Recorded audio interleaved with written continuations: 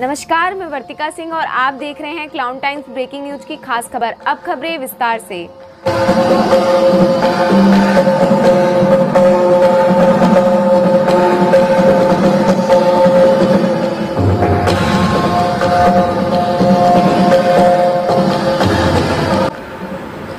तबला सम्राट पद्म भूषण पंडित कृष्ण महाराज के सौवें जन्मदिन पर विशेष आयोजन का संकल्प लिया गया है। इस वक्त हमारे साथ उनकी पुत्री अंजलि मिश्रा अंजलि जी क्या है पूरा आयोजन? कल 3 सितंबर 2022 को मेरे पिता पद्म विभूषण पंडित किशन महाराज जी का निन्यानवे वर्ष संपूर्ण होके सौवा वर्ष उनका शुरू होने जा रहा है। इस अ,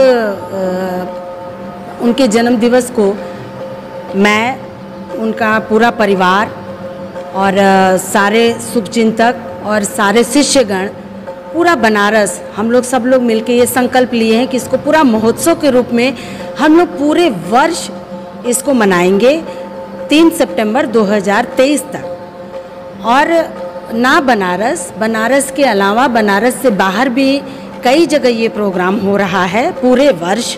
और इंडिया में ही नहीं, इंडिया से बाहर भी, जहाँ भी उनके स्टूडेंट लोग हैं, वो, उनका परिवार जहाँ भी है, वो लोग भी कार्यक्रम कर रहे हैं। सबसे बात हो गई है, कल अभी इसकी शुरुआत पिताजी के स्मृति में ये बना हुआ सरस्वती कक्ष, इससे हम लोग शुभारंभ कर रहे हैं। सरस्वती जी के सामने इसकी शुरुआत होगी। तो सबसे पहला घर से उनके शुरू होने वाले कार्यक्रम में हमारे बनारस के प्रवीण उद्धव जी अपना तबला प्रस्तुत करेंगे। उसके बाद देवाशीष डे जी अपना गायन की प्रस्तुति देंगे। और अंतिम कार्यक्रम के रूप में बनारस के उभरते हुए बहुत ही प्रसिद्ध प्रसिद्धि को प्राप्त करते हुए युवा कलाकार विशाल कृष्णा जी अपना डांस देंगे।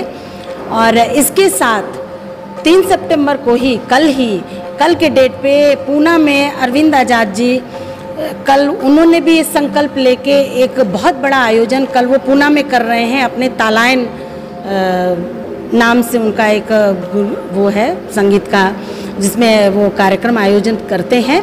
तो वो कल शुरू कर रहे हैं और वो भी पूरे वर्ष कार्यक्रम कर रहे हैं और इसमें बहुत बड़े बड़े कलाकार शिरकत करेंगे। उनका तो पाँच छः महीने का कार्यक्रम तय भी हो चुका है, जिसमें कि हरिप्रसाद चौरसिया जी विराज, अमर कुमार बोस जी, सुखविंदर सिंह पिंकी, शुभ महाराज, ये सारे लोग उसमें आ रहे हैं और वो लोग सब लोग हर महीने उन लोगों का संजू सहाय जी, सबका कार्यक्रम होगा और इसका अंत वो बनारस में आके ही करेंगे अगले साल 2023 में 3 सितंबर को। उसके बाद इसी के साथ, शुभ महाराज जो पिताजी के नाती हैं और वो इस कार्यक्रम को इस रूप में कर रहे हैं।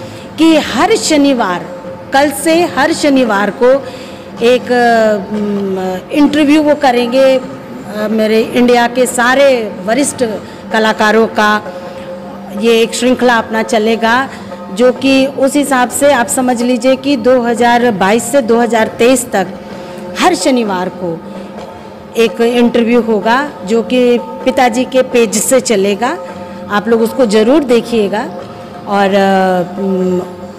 उसमें सबसे पहले अमजद अली खान साहब के इंटरव्यू से शुरुआत हो रही है और उम्मीद है उसमें आगे आने वाले शनिवार में जाकिर हुसैन खान साहब का और हरिप्रसाद चौरसिया जी का, कुमार बोस जी का, पूरन महाराज भैया का और बहुत बड़े बड़े आर्टिस्टों का उसमें इंटरव्यू पूरे साल, एक साल।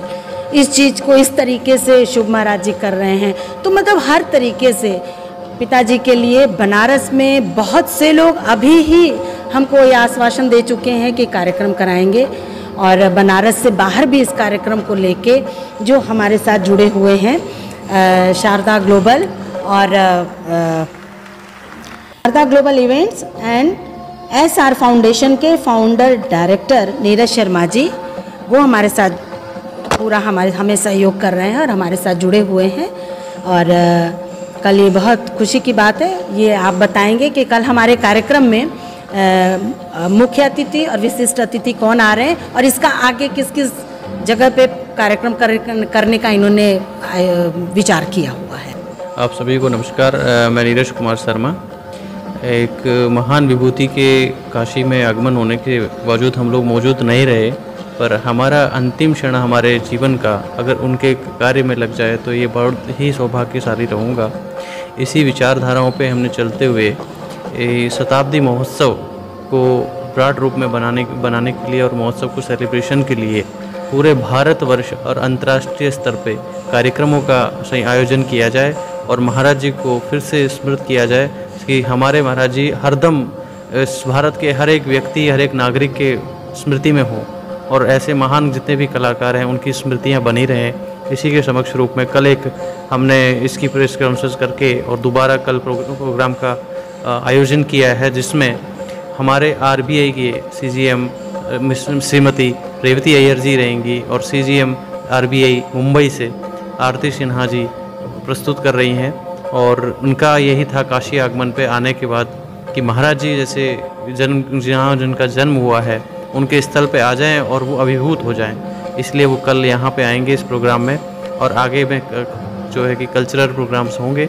उसके बाद देश विदेश में जो हमारे कार्यक्रम होने जा रहे हैं, इसकी श्रृंखला में सबसे पहले रोहतक आईएम और उसके बाद पानीपत, उसके बाद चंडीगढ़, लुधियाना, अमृतसर, लखनऊ, जयपुर, इसे अन्य अन्य सब शहरों में प्रोग्राम का आयोजन किया जा रहा है, जिसकी विस्तृत जानकारी सभी पत्रकार बंधु और सभी नागरिकों और सोशल मीडिया के माध्यम से दिया जाएगा। धन्यवाद। क्लाउन टाइम्स ब्रेकिंग न्यूज़ की खास खबरों को देखने के लिए हमारे यूट्यूब चैनल को सब्सक्राइब करें, लाइक करें और बेल आइकन पर क्लिक करें। क्लाउन टाइम्स की खबरों को अगर आप हमारे फेसबुक पेज पर देख रहे हैं तो हमारे फेसबुक पेज को लाइक ज़रूर करें।